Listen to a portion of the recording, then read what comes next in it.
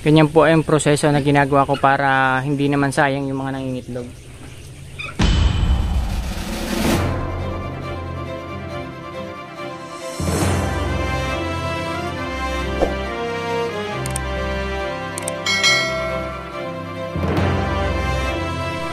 Guys, magandang umaga po. Ngayon po ay kami ay magkakal naman. Magkakal na po dahil kinakailangan ng ikal at medyo uh, umiinit na po ay bumababa po ang production. So kinakailangan ko po tanggalan muna ng iba para mabawasan po yung kumakain para hindi po tayo malugi. So bali ito pong aming ikakal ay medyo maedad-edad na po. Mostly ang kinakal po ay talagang 8 months hanggang 1 year. Pero itong aking ito po ay umabot na ng ilan ba October, October 2000 2020. Mag 19 months na po. 19 months na po ito. So, kinakailangan po nating ikal dahil medyo lumalambot na din po yung itlog. Pero, ang gagawin ko pong pagkakal dito ay partial po. Hindi ko po i-kakal lahat kasi sayang po ang itlog lalo na katulad ng ganitong panahon. Medyo maganda-ganda ang presyo. Kinakailangan po natin uh, ikal muna yung hindi lang umiitlog. Katulad po dito, halimbawa sa ikinakal na ito, pinapipili ko po yung may itlog at wala dito sa black ay nilalagay yung may itlog pag napili doon ay walang itlog so makikita naman po yan kung may itlog o wala ang pagdakot po niyan pagka dinakot bang pakita mo nga pag dinakot na gayan ang hintuturo mo na andon pero huwag mong pipisain. Basta ka pa lang pag hinipo mo dito sa may puwet yan po ay nakabukol. Pagka po gayan lubog wala walang itlog. Dito yan sa kaliwa ay nilalagay. Then ito may ayan ayan mga wala. Pagka nakakapa na may itlog makikitingin nga. Ayan, mga walang itlog po yan. Kapa po yun sa puwet pero hindi po dinidiin ang pagsalat niyan sinasalat lang kung may nakabukol nakabukol yan nakabukol yan yan saka bumubuka po yung puwet niya pagka ganun oh. yan may nakabukol matigas so ibig sabihin itlog po yun nasa puwet na So, ito pong pinapapilian ko na ito ay 1,000. Halimbawa, 1,000. Tapos, 1,000 na lang, uh, umiitlog na lang po ng 500. Ibig sabihin, 50% na lang. Talo ka na sa patoka na yon. Pero, ang gagawin ko po diyan, para po tayo ay hindi matalo sa patoka, kukuhanin po natin yung 500 na umiitlog. At, ibebenta po natin, ikakal natin yung 500 pa. So, ibig sabihin, doon sa 1,000, pagka tayo nakapili ng 500, 100% na nangingitlog pa yung ating matitira. So, ganun po ang ginagawa kong pagsiselect para tayo po ay hindi malugi sa patuka. Kasi once na hindi po natin pinilian to, lugi na po tayo dito sa patuka, ay babagsak po talaga. So, ngayon, ang ginagawa ko pong pagsiselect ay, ay pagkakalay ganito, selecting po. Nagsiselect po tayo ng may itlog at wala. Ang ating pong ikinakal yung wala. Kung tayo po ay makapili ng 500 piraso dito na may itlog, So, sigurado yun, mamayang gabi, may itlog yung 100% na 500. Ang tutukadi yan ng feeds, 500 din lang. Ibig sabihin, 100% pa yung umiitlog ang mangyayari diyan. So, dahil madami pa naman po yung mga kasamahan, dahil batch by batch po yan, yan. So, ito po yung pinakamatanda. Umabot na po ng 19 months, going to 19 months na po ito. Yan. October 2020 pa po yan. 2021 magdadalawang taon na sa October kaya 19 months na po ngayon Mayo so ganun po ang ginagawa ko nakakailang pili na po ito bali patatlong pili na po nung pinilian pong isang beses may natira uling 1,000 so ngayon uh, mga 6 month ngayon po lang uli na ulit.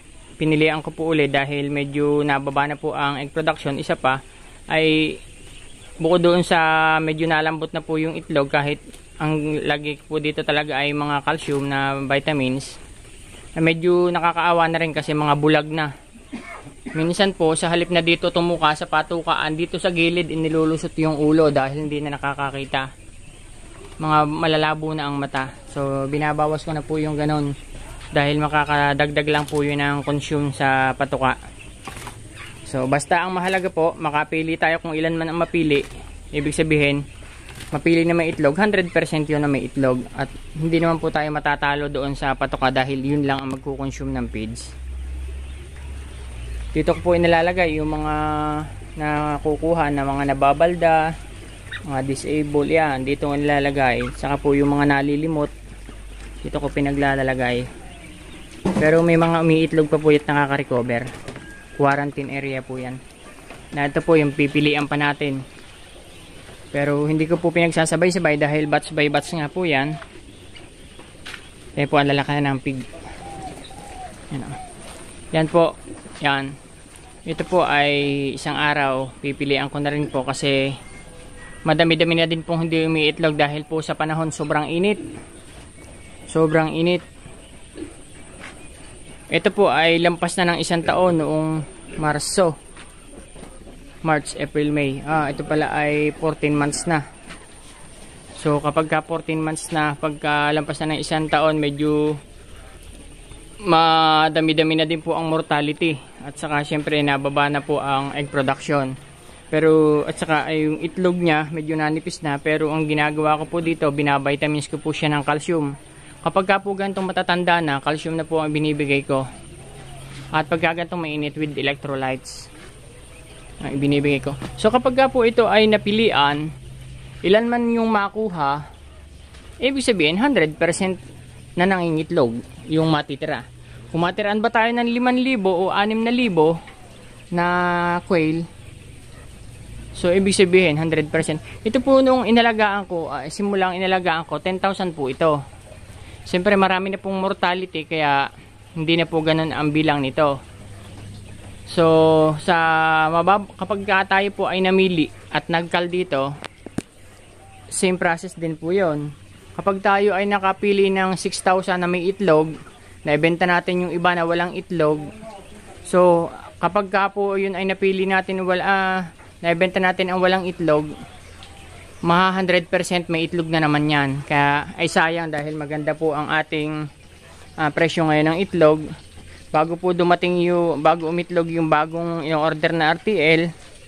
So, sayang naman pagka inalis na agad. Para bago umitlog, ay may continuous pa rin po yung ating supply ng egg dahil sa mga pinili natin to. Magaganda pa naman po ang itlog. Yan. Yun po ang ginagawa ko kaya po nagtatagal na napagtatagal natin ang ating pugo nang hindi po tayo nalulugi.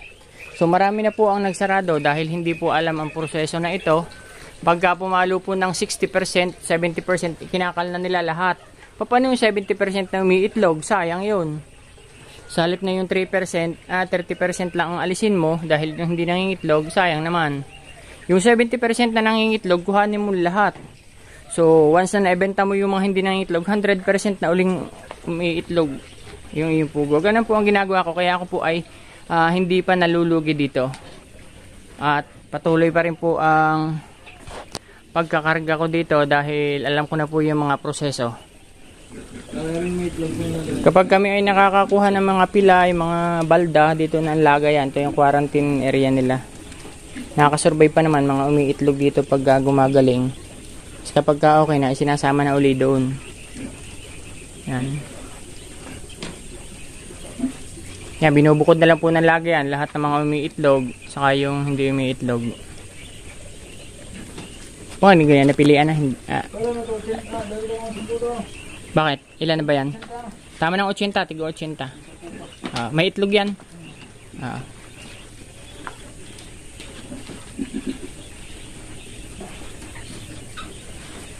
Yan o, tig, tigo 80 lang po pinalalagay ko dito. Ito naman po ay mga hindi na umiitlog. Pero ito po, kung walang itlog ngayon, umaga po kami nagpipiling isa ngayon eh. Hindi po yan 100% na walang itlog. Ibig sabihin kaya walang napisil sa may puwet, yan po yung nakaitlog na kaninang umaga. Yan po yung mga nadidelay umitlog. Yung pong may mga itlog na yan, yan po yung update umitlog. Tuwing alas 10 ng umaga, umiitlog po yan. Ah, hindi, mga alas 11, hanggang hapon umiitlog yan kapana po sa puwet ito po mga na-delay po lang tong umitlog kaya kala natin hindi umiitlog ng itlog sila madaling araw. So, ibig sabihin, mamaya pa po uli sila makakapagbuo ng itlog. Kaya yan po ay may isang proseso pa nga pala.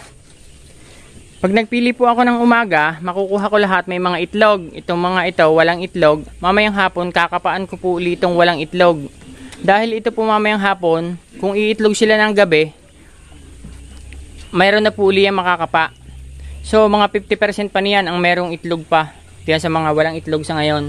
Mamaya may makakapapa po uli diyan mamayang hapon. Kung 50% pa makukuha uli diyan. Dahil yun po mga late lang umitlog. Mga late lang. Minsan madaling araw na bumabagsak kaya nabubuo yun hapon.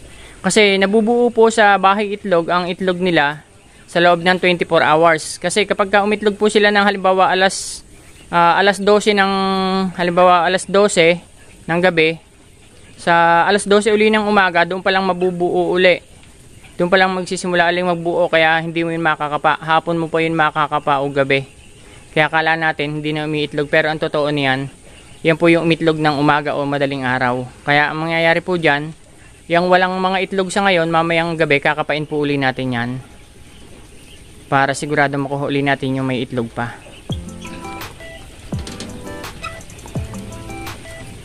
Yan tinatandaan na lang po yung may mga itlog at wala. Nilalagyan po ng label. Ganyan po ay yung proseso na ginagawa ko para hindi naman sayang yung mga nangingitlog. Kasi yung iba pagka naka 50%, 60% tanggal na agad, benta na lahat. Ako po ay hindi. Kinukuha ko yung, yung lahat na nangingitlog. Oh, pagka naibenta ko 100%, may itlog matitira sa akin. Nabawasan din naman po doon yung patukain dahil naibenta po yung kalahati na hindi nangingitlog. Yan. Maraming maraming salamat po sa panonood. Sana nakatulong po ang video na ito kung paano tayo magkal para po doon sa mga baguhan at hindi pa po ang style na ito. Uh, hindi pa po alam ang ganitong style. So mas maganda po kung kayo may pagkakataon pilian nyo lamang po yung inyong mga pugo. Huwag nyo pong ikakal ng biglaan. Kayaan nyo pong parsya lang ang, pag, ano, ang pagkakal para hindi naman po mabiglang maubusan ang supply ng itlog. Habang tayo po ay nabi, uh, nagpapalaki ng RTL o kaya bibili tayo ng RTL na order so nangingitlog pa rin tuloy pa rin ang production. Yan napakahalaga po na huwag po natin uh, kalilimutan na huwag sanang ma-overcrowded. Kasi pag na-overcrowded ang inyong mga pugo hindi iitlog yung iba matutumboy lang yan. Yan tutuka lang sila ng tutuka hindi naman sila iitlog pag overcrowded at saka syempre pagka sa madilim, yun po ay isang factor din yung madilim kaya hindi umiitlog, tulog lang silang tulog. Instead na sila po ay tutuka ng pagkain iinom, matutulog lang sila matutulog dahil uh, madilim. Akala nga nila ay gabi pa, pahinga lang sila ng pahinga. Yan, uulitin ko po, ito po ay 19 months na. Hanggang ngayon madami pa po ang umiitlog dahil ganyan po ang ginagawa natin na pagpipili pagkakal partial lang yung pagkakal natin hindi po binibigla